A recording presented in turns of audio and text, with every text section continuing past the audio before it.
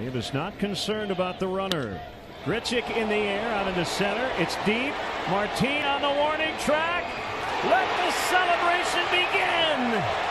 The Chicago Cubs are NL Central champions once again, and they're going to party in St. Louis.